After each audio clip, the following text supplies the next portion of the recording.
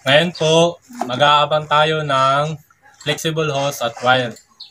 Ito mga ka-DIY yung ating mga gamit. Flexible hose at wire.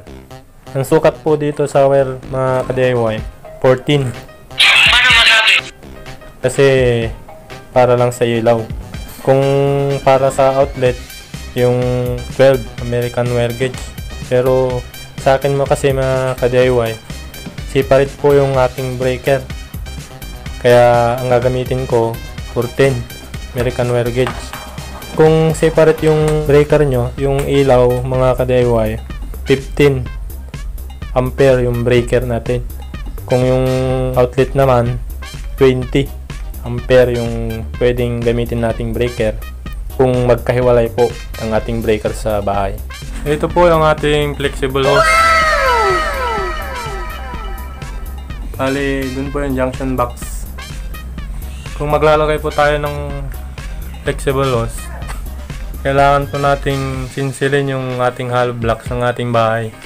Pag nagpalitada tayo, matatakpan po ang flexible hose para hindi po magulo tignan. Bali, dun po sa taas, meron pong junction box. Dun po tayo magtatap ng ating kuryente o ilaw dito sa ating kwarto. Ganon din po dito mga DIY. Kung saan po nakatapat yung ating junction box, dun po dapat nakatapat yung ating utility para sa switch. Dapat po magkatapat yan para po hindi maipit o diretso po ang pagkakalagay ng ating flexible hose. Yan, hanggang dun po yan. Nasinsil na po natin yan. Nga po pala mga DIY, kapag nagkabit po tayo ng mga ganitong flexible hose, huwag po nating kakalimutan maglagay ng alambre para hindi po mahirap hilahin yung ating wire. Ayan mga ka-DIY, tapos na po tayong kabit na o magabang ng uh, flexible hose sa daanan ng kuryente sa ating bahay. Ngayon po, magkakabit naman tayo ng wire 14 American wire gauge para po sa ating ilaw. Yun na po, samahan niyo ako. Ito po mga ka-DIY yung wire nating gagamitin para sa ating ilaw. Bali, meron na pong alambre dito. Bali, pasok na lang po natin dito. At ihilahin po natin ito. Dito.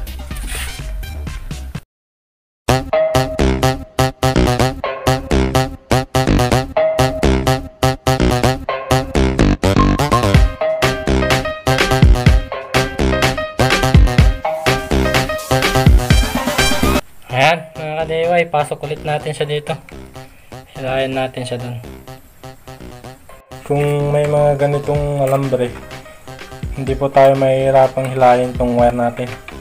Kaya napakalaga po na lagyan natin. Ayan mga ka-DIY. Bali na palabas ulit natin, hihilain ulit natin. Papunta dun. Yung ating wire. Ito po yung ating wire, pinasok natin doon. Hinila natin yung wire. Hanggang doon. Dun sa sala, mga ka-DIY. Bali, mag diretso na po yan yung ating paghihila. Itap na lang po natin dun sa ating junction box. Dito naman tayo sa sala. Bali, ito na po yung wire nating hinila. Hihilayin po ulit natin. Papunta po doon sa ating switch dun sa sala. At ibababa natin yan dun sa panel board o circuit breaker. Ayan mga ka-DIY. Tapos na po tayong mag-install ng flexible hose at wire. Yung flexible hose po, kailangan po nakasinsil sa ating hollow block para po matakpan kapag nag-plastering o nagpalitada tayo. Kung mapapansin nyo po, isang kulay lang ang ating wire na ginamit para hindi kayo malito. Lagyan nyo po ng electric tape yung wire.